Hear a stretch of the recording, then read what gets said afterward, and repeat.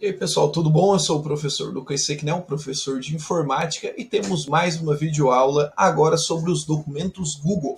Lembrando que trata-se de uma continuação da aula anterior, que é vinculada à disciplina de informática e também ao terceiro ano do ensino médio inovador, EMI, mas serve para reconhecer um pouquinho mais sobre esse recurso tão fabuloso que são os documentos Google.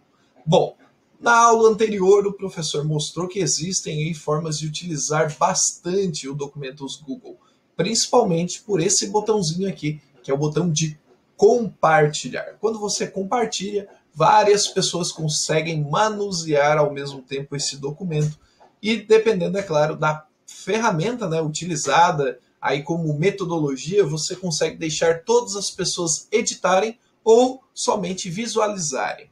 Bom, é importante lembrar que além dos recursos básicos trazidos aqui na lateral, nós também temos um recurso escondidinho aqui que é o explorar. Se você clica em explorar, vai aparecer sim mais alguns itens para você criar um documento inteligente. Mas essa não é a pauta de hoje. Vamos explorar os menus.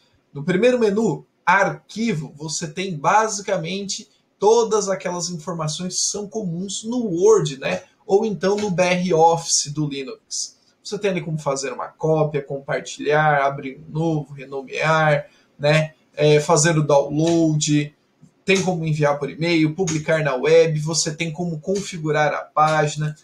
Vou apertar em configurar página e para mostrar que é muito parecido, inclusive, com a configuração do Word, né? Você pode até mudar a cor da página. Eu vou mudar aqui para um amarelo só por desencargo de consciência para mostrar que sim, é mais fácil ainda mexer nessa configuração do que no Word.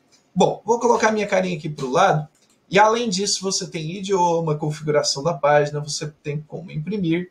Na ferramenta editar, não muda tanto, você tem como colar, copiar. Um detalhe importante: aqui a opção colar ó, vai te oferecer para ativar esse recurso. É importante instalar, do contrário, tem que usar os atalhos rotineiros mesmo. Depois você tem como inserir todas aquelas ferramentas bem básicas que nós já temos. Os gráficos ó, são bem facilitados. Você pode puxar de outros produtos Google, de outros aplicativos. Isso que é o mais interessante. Você pode puxar do Planilhas, que é onde mais costumeiramente nós podemos construir os gráficos. Né? Formatar o estilo do texto, o estilo do parágrafo, marcadores, não que isso não tenha aqui embaixo também, tá? É importante lembrarmos que tudo isso está partilhado aqui embaixo.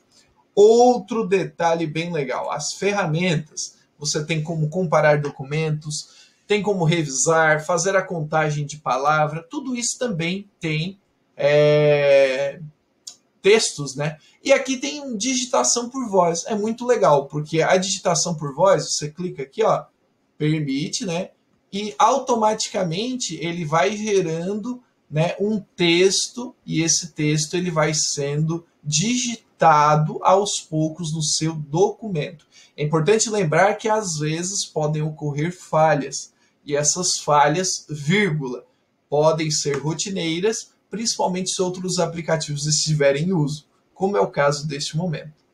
Então ali, ó, você percebe que ele está digitando tudo, né? Vamos parar um pouquinho, mas é muito legal, porque muitas vezes você está dando uma entrevista ou recebeu uma entrevista de alguém, né? Você fez uma entrevista com um colega, bah, agora eu tenho que pegar e digitar tudo isso, né? Ó, perceba que ele vai fazendo automaticamente a conversão e vai salvando, né? Perceba que teve um delay ali, ele continuou digitando. É, percebeu até um vício de linguagem ali, ó. Bom, no final das contas você tem ajuda e o mais importante, você não precisa clicar no Ctrl B, né, para ficar salvando todo momento. Ele salva automaticamente, mesmo offline. E aqui você tem a ferramenta de complementos, que é muito legal e creio eu que na próxima aula o professor vai explorar um pouquinho mais essa ferramenta. Clicando em instalar, complementos, você tem aqui uma série de complementos muito legais, como conversores, facilitadores. É muito bacana explorar porque alguns desses fazem muita diferença, sim. Certo, pessoal? Mas isso é para a próxima aula.